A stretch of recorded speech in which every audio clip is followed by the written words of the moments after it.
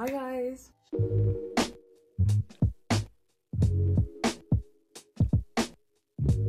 Welcome back to my channel. If you're new here, my name is Antonia.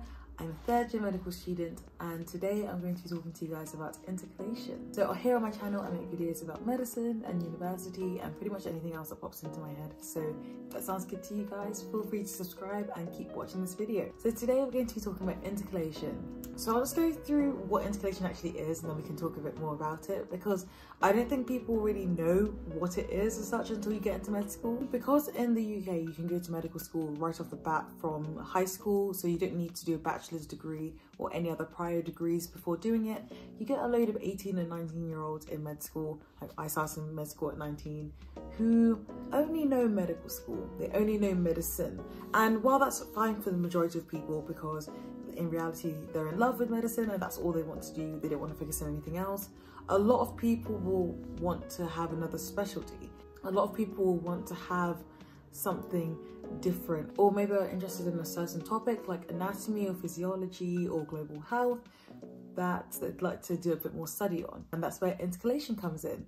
Intercalation is essentially a year where you can defer your medical studies and go and study another topic, come back to medical school with that degree. So you either get a bachelor's or a master's depending on which degree type you choose different institutions do it in a different way. So some medical schools in the UK, like Oxbridge and UCL, will have mandatory six-year courses, so you have to intercalate whether you want to or not. And some medical schools will be five-year courses, but will give an opportunity to intercalate if you want to, like my med school.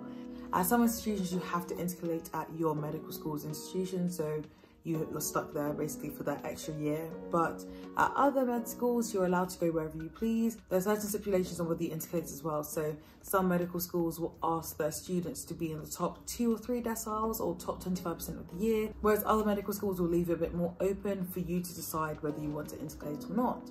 So if that sounds good, you know, getting a degree in a year, adding that extra bit to your portfolio, then we move on to what course you should apply for. So like I said in the beginning, if you have a specialist interest in something, then intercalation may be something that you might want to look into. So for example, if you think that you like the look of cardiology or cardiovascular surgery, then cardiovascular sciences, which some universities offer might be something for you. If you like anatomy a lot, then you can do an anatomy degree.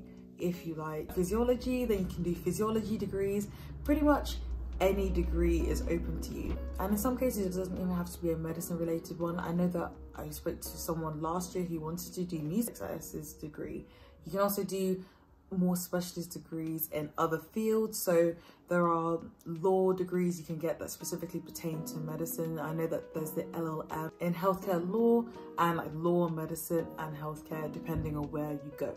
So you can find something out there for you if you're interested definitely research into it and look into the courses properly because you don't want to be stuck on a course that you don't enjoy. Two universities may offer the same course, but they may conduct them in completely different ways. Look into how long the term dates are and whether you can apply for accommodation, how it's assessed. So if you don't want to have exams on your intercalated year, don't go somewhere where it's really exam heavy. Just look into the courses properly. Next topic, I guess, would be where to apply. If you go to a university where you have to intercalate at your university, then you've, you've had your decision made for you. If you go to a university like mine, which allows you to intercalate wherever, then you can look more into locations. I know some people have gone for places that they think have a cheap living cost because they want to try and save money as we're in university literally for five years studying medicine and you make it six by intercalating. Personally for me, I didn't really mind where I was gonna go. My biggest priority was the course and making sure that it was the course that I actually wanted to study. Next topic is what you need to apply. So applying for an intercalated degree, whether it's a bachelor's, an undergraduate degree or a master's, a postgraduate degree is quite similar to applying for a normal university degree, only that you don't go through UCAS or anything, you apply directly to the institution themselves. Different universities will ask for different things, but some common things that they will ask for is your interim transcript, so the transcript pertaining to any study you've done in med school, at different medical schools allow you to intercalate at different times. So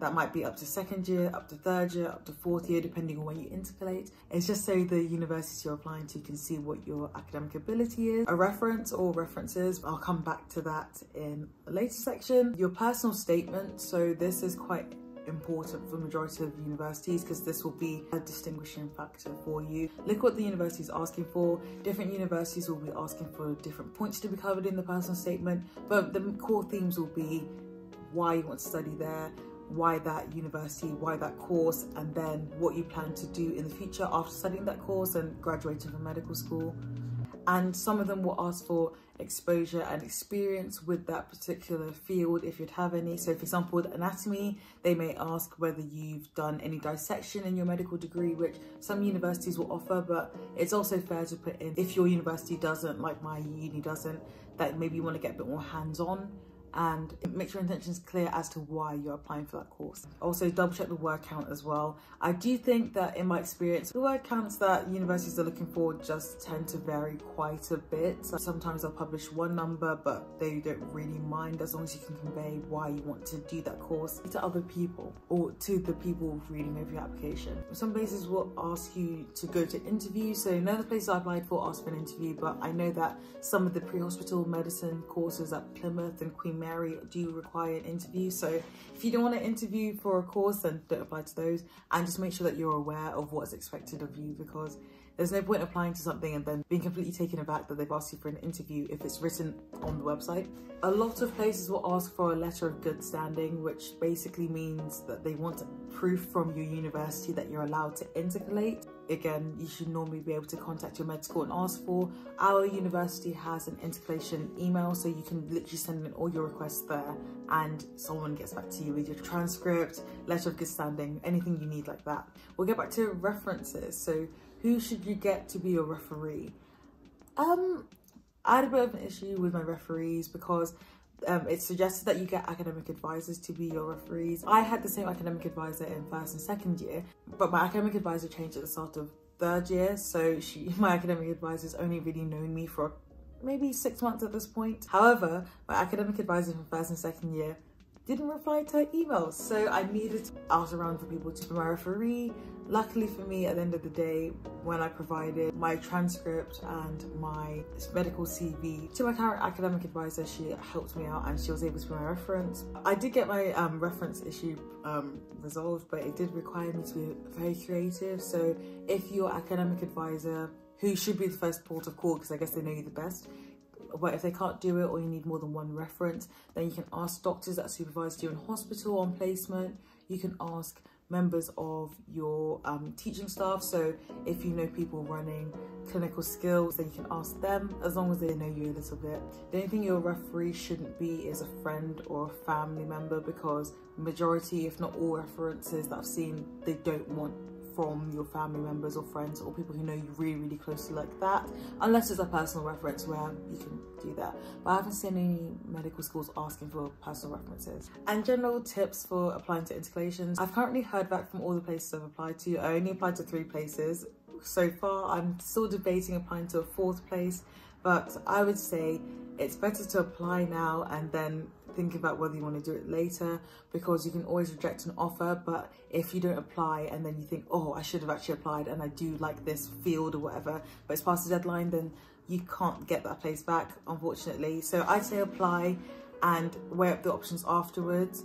Definitely look into the financial side of things as well. I would have loved to have done a master's but I have to think about that very seriously because if you want to fund a master's, you need to get the postgraduate loan, which doesn't give you access to maintenance, so you need to think about whether you can afford it. With a bachelor's degree, if you do it after third year, it's still funded by student finance, so it's a bit more affordable that way. But definitely look into the financial side as well. Don't just do it for FPAS points. If you intercalate, you do get access to a couple extra FPAS points, which help you when you're getting foundation year posts and things when you become a doctor, but it's not worth taking a year out just to get those couple of points at the end of the day. If you don't enjoy the degree, then you won't be happy, really. Make sure that you read over all the details involved. So read over details involved from your med school, read over details involved from the universities and courses you want to apply to, and make sure you're well informed before you apply because that is the best way to go about it really.